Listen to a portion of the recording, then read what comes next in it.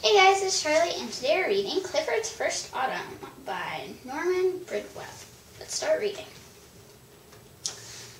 Hi, I'm Emily Elizabeth, and I have a dog named Clifford. When Clifford was a tiny puppy, he loved the summertime. We went to play in the park every day. Clifford chased the birds, but he never caught one. On the way home, we always stopped to smell the flowers. Then summer ended. One morning, Clifford woke up to hear the radiator hissing. I picked him up so he could see out the window. The park looked different. There were leaves all over the ground. Clifford couldn't chase birds. They were all flying south. The flowers were gone, and there were pumpkins in their place. Clifford had never seen pumpkins before. Uh-oh! He jumped and crash. Pumpkins rolled all over the street. Now where did Clifford go? Sometimes Clifford was a naughty puppy.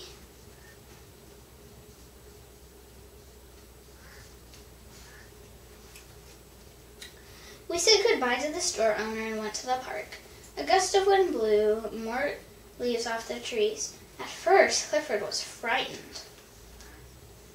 Then he started to chase the leaves. It was fun. He saw a big pile of fallen leaves. Clifford plunged it, plunged in. Whee! That was even more fun. Then a strange object bounced right in front of Clifford. There was a long string on it. Clifford took hold of the string, and he ran. Suddenly, a boy grabbed the object. I guess he didn't see Clifford.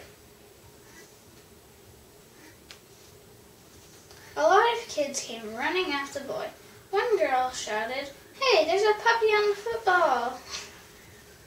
The boy dropped the ball, so Clifford took it and ran.